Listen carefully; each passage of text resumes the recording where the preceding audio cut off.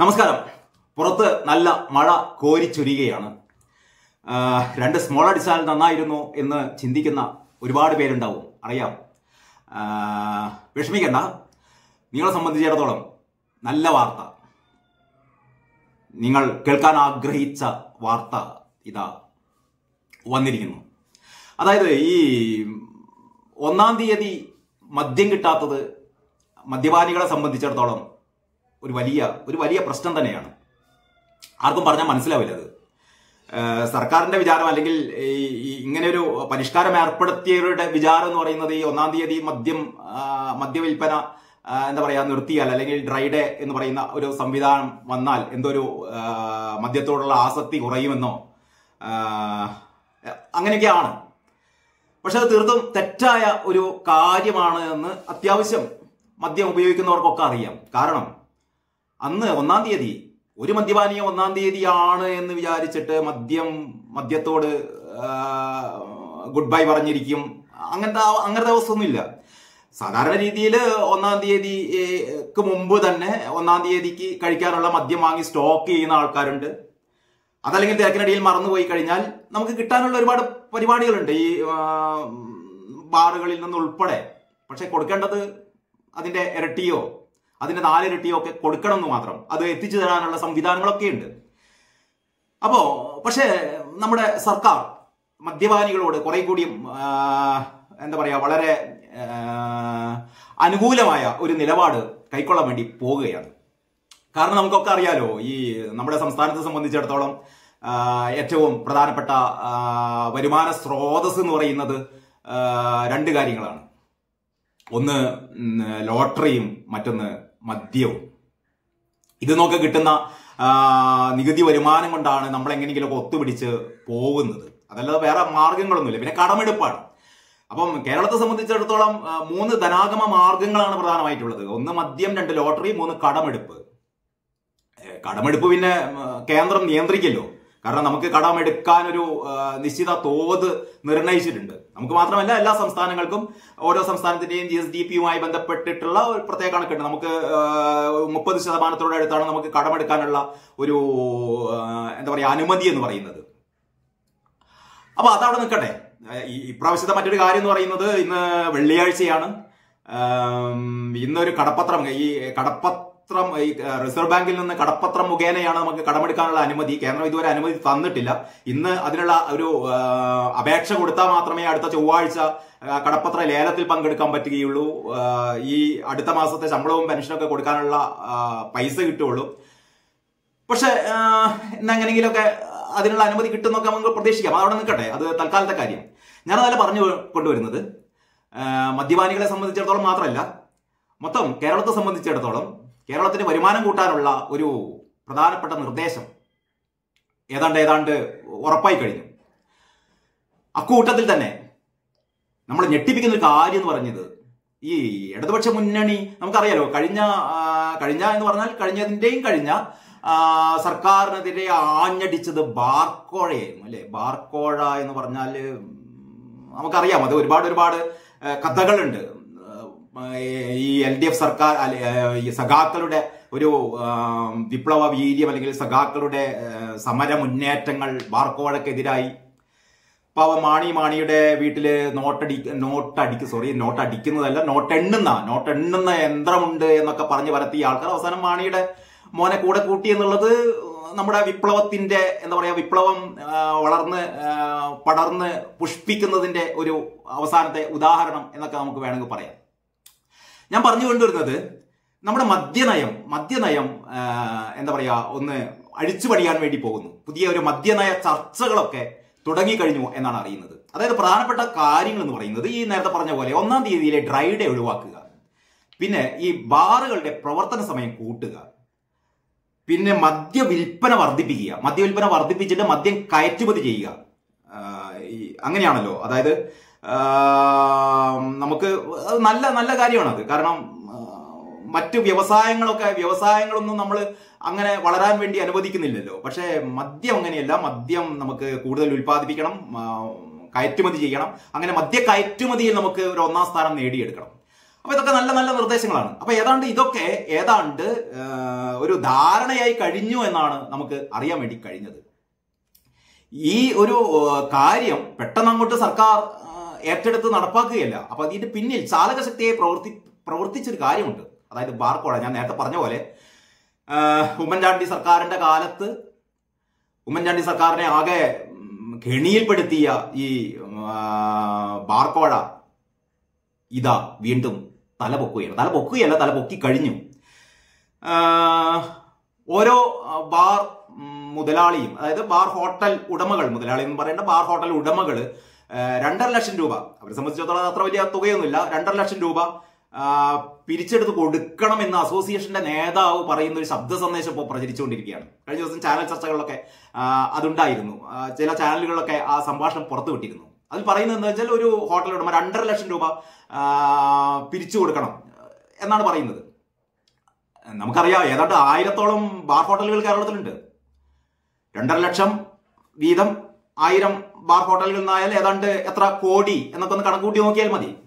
അത്രയും കോടികൾ ആരുടെയൊക്കെയോ പോക്കറ്റുകളിലേക്ക് പോകാൻ പോകുന്നു അല്ലെങ്കിൽ പോയിക്കൊണ്ടിരിക്കുന്നു എന്നാണ് നമുക്ക് മനസ്സിലാക്കാൻ കഴിയുന്നത്. കാരണം ഈ ശബ്ദ സന്ദേശത്തിന്റെ ഉടമ ഇതുവരെ ശബ്ദ സന്ദേശം നിഷേധിച്ചിട്ടൊന്നുമില്ല. അപ്പൊ ഒരു വൻ തോതിലുള്ള ഒരു വൻ ബാർ എന്താ പറയാ ബാർ കോഴ അണിയറയിൽ നടന്നുകൊണ്ടിരിക്കുന്നു. അതിന്റെ പരിണിത ഫലം ഉടൻ തന്നെ നടപ്പാക്കാൻ പോകുന്നു. അപ്പൊ നമുക്ക് എല്ലാ ദിവസവും മദ്യം കിട്ടുന്ന ഒരു മദ്യമൊഴുകുന്ന ഒരു നാട് എന്ന് പറയുന്ന ഒരു കിണാശ്ശേരി സ്വപ്നം നമ്മുടെ സർക്കാർ ഇടതുപക്ഷ സർക്കാർ പ്രാവർത്തികമാക്കാൻ പോവുകയാണ്. കാരണം രണ്ടാം പിണറായി സർക്കാരിന്റെ മൂന്ന് വർഷത്തിന് ശേഷം നാലാം വർഷത്തിലേക്ക് കടക്കുമ്പോൾ മറിയക്കുട്ടിമാർ മറിയക്കുട്ടി ചേട്ടത്തിമാർ ഇപ്പോഴും മൺചട്ടിയുമായി ഇനിയുണ്ട് ആറുമാസത്തെ ക്ഷേമ പെൻഷൻ കുടിശ്ശിക. ക്ഷേമ പെൻഷനൊക്കെ നമുക്ക് കൊടുക്കാം. ഖജനാവ് നിറയട്ടെ. ഈ ഡ്രൈ ഡേ കൂടി ഒഴിവാക്കുമ്പോൾ നമുക്ക് കിട്ടുന്ന നികുതി വരുമാനം കൂടട്ടെ. പിന്നെ മദ്യം കയറ്റി അയക്കുമ്പോൾ അതിൽ നിന്ന് കിട്ടുന്ന വരുമാനം കൂടട്ടെ.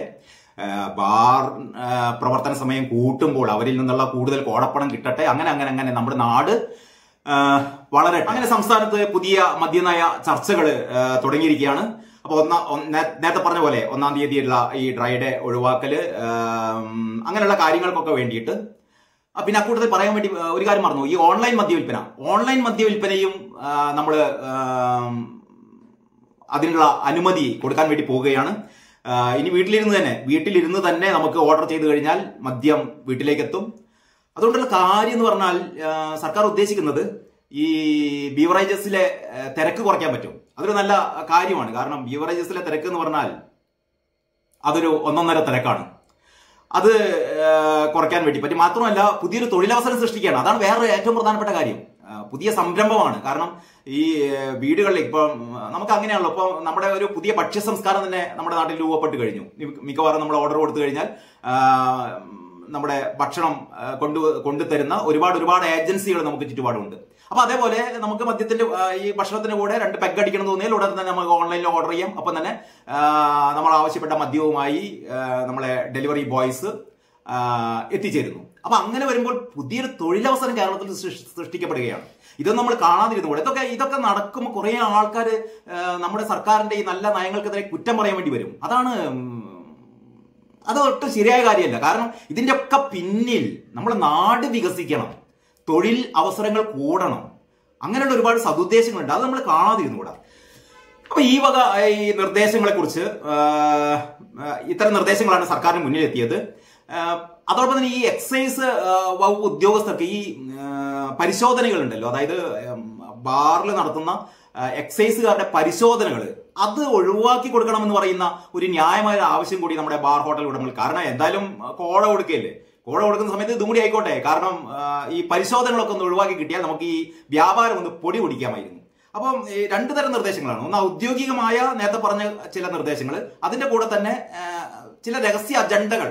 അത് ഉദ്യോഗസ്ഥ തലത്തിലുള്ള ഒരു സംഭവമാണ് നമുക്ക് മാസാമാസം മുഖ്യമന്ത്രിയുടെ മകൾ വരെ മാസപ്പടി വാങ്ങുന്ന നാട്ടിൽ നമുക്ക് മാസപ്പടി കിട്ടുന്നതുകൊണ്ട് എന്താ പ്രശ്നം? ഒരു പ്രശ്നമില്ല കാരണം മാസപ്പടി എന്ന് പറയുന്നത് നമ്മുടെ ഒരു അംഗീകൃത അവകാശമാണ്. അവകാശമാണ്. ഈ ക്ഷേമ പെൻഷൻ എന്ന് പറയുന്നതാണ് ഔദാര്യം. മാസപ്പടി എന്ന് പറയുന്നത് അവകാശമാണ്. അപ്പൊ ഉദ്യോഗസ്ഥന്മാരുടെ അവകാശമാണ് മാസപ്പടി വാങ്ങുക. അപ്പൊ ബാർ മുതലാളിമാർ ഇവർക്ക് മാസപ്പടി കൊടുത്തോളും. അപ്പൊ ഈ പരിശോധനകളൊക്കെ ഒന്ന് ഒന്ന് നിയന്ത്രിച്ചാൽ മതി. മുഴുവനായി നിർത്തണ്ട. നിർത്തി കഴിഞ്ഞാൽ അത് അത് ശരിയല്ലല്ലോ. അപ്പൊ അത് കണ്ണിൽ പൊടിയിടുന്ന ചില പരിശോധനകളൊക്കെ മതി എന്ന് പറയുന്നതാണ് ആ ഒരു കാര്യം.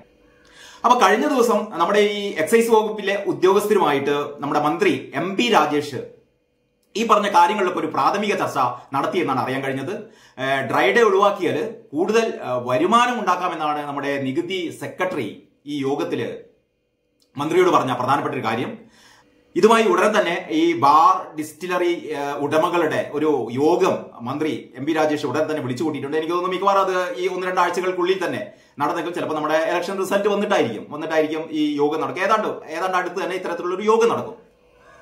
അപ്പൊ സംസ്ഥാനത്ത് എല്ലാ മാസവും ഈ ഒന്നാം തീയതിയിലുള്ള ഡ്രൈ ഡേ മാറ്റണമെന്ന് ഈ സെക്രട്ടറി തല കമ്മിറ്റിയാണ് ഈ എക്സൈസ് വകുപ്പിനോട് ശുപാർശ ചെയ്തത്. അത് നമ്മൾ ഓർക്കണം. എല്ലാ മാസവും ഒന്നാം തീയതി മദ്യശാല തുറന്നാൽ പതിനയ്യായിരം കോടിയുടെ വരുമാന വർധന ഉണ്ടാകാം. ഉണ്ടാകാം എന്നല്ല ഉണ്ടാകുമെന്നാണ് ഇവരുടെ ഒരു വിലയിരുത്തൽ പിന്നെ വില കുറഞ്ഞ വീര്യം കുറഞ്ഞ മദ്യത്തിന്റെ വിൽപ്പന. ആ, മദ്യത്തിന്റെ ഉൽപാദനം പ്രോത്സാഹിപ്പിച്ച് അത് കയറ്റുമതി ചെയ്താൽ അതും അതുമൂലമുള്ള വരുമാനവും വർദ്ധിക്കും. തുടങ്ങിയ കാര്യങ്ങളൊക്കെയാണ് ചർച്ചയായത്. ഏതായാലും പുതിയ മദ്യനയം വരുന്നതിന് മുന്നോടിയായാണ് ഇത്തരത്തിലുള്ള ഒരു യോഗം നടന്നത്. വില കൂടിയ പ്രീമിയം ബ്രാൻഡ് മദ്യമാണ് ഈ ഓൺലൈൻ ബുക്കിങ്ങിലൂടെ വീടുകളിൽ എത്തിച്ച് നൽകാൻ വേണ്ടി പോകുന്നത് ഇതിനുള്ള കാരണങ്ങൾ ഞാൻ നേരത്തെ പറഞ്ഞു കഴിഞ്ഞു. ഈ തിരക്ക് ഒഴിവാക്കുക പിന്നെ കൂടുതൽ തൊഴിലവസരങ്ങൾ സൃഷ്ടിക്കുക തുടങ്ങിയ കാര്യങ്ങളൊക്കെ നടക്കട്ടെ നടക്കട്ടെ. ഈ ഒന്നാം തീയതിയിലെ ഡ്രൈ ഡേ ഒഴിവാക്കണമെന്ന നിർദ്ദേശം നമ്മുടെ ടൂറിസം ടൂറിസം വകുപ്പിലെ ചില ഉദ്യോഗസ്ഥന്മാരും നമ്മുടെ റിയാസ് ടൂറിസം മന്ത്രി റിയാസിന് ഇക്കാര്യത്തിലൊന്നും വലിയ ഇടപെടലൊന്നും ഇല്ലട്ടോ ഞാൻ അങ്ങനെ തെറ്റിദ്ധരിക്കുന്നു വേണ്ട. മന്ത്രിയല്ല ടൂറിസം വകുപ്പിലെ ചില ഉദ്യോഗസ്ഥരും ഇതേ കാര്യം തന്നെ മുന്നോട്ട് വെച്ചിട്ടുണ്ട്. അങ്ങനെ എല്ലാ ഭാഗത്തു നിന്നും സമ്മർദ്ദം വന്നാലല്ലേ പെട്ടെന്ന് ഈ കാര്യം നടപ്പാക്കുള്ളൂ. അതായത് ഈ ഡ്രൈ ഡേ ഒഴിവാക്കണം എന്നൊക്കെ തുടങ്ങിയ കാര്യങ്ങൾ നമ്മുടെ ടൂറിസം വകുപ്പിലെ ഉദ്യോഗസ്ഥരുടെ കൂടി ഒരു ആവശ്യമാണ്. ഓക്കെ? അപ്പോൾ ഞാൻ പറഞ്ഞുകൊണ്ട് വന്നത് ഇത്തരം തീരുമാനങ്ങളൊക്കെ സർക്കാരിനെ കൊണ്ട് എടുപ്പിക്കാൻ വൻ കോഴയാണ് വേണ്ടപ്പെട്ടവർക്ക് കൈമാറിയതും കൈമാറിക്കൊണ്ടിരിക്കുന്നതും.